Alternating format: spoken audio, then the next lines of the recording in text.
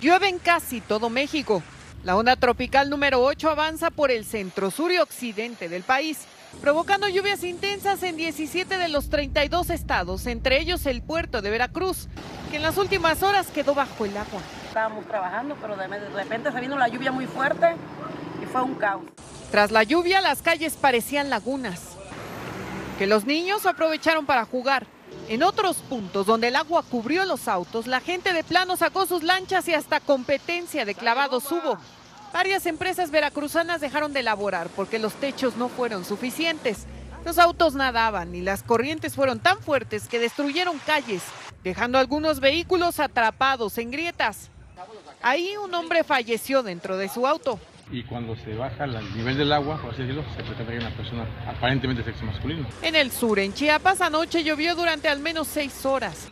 Varios ríos estuvieron a punto de desbordarse. Por eso una mujer perdió la vida al tratarle de ganar a la corriente con su moto. Se había inundado anteriormente, pero no a esta a este nivel que provocó el derrumbe del puente. Y el problema es que este mal tiempo continuará, pues por la noche se espera que otra onda tropical se acerque a la península de Yucatán, dejando más tormentas en este país.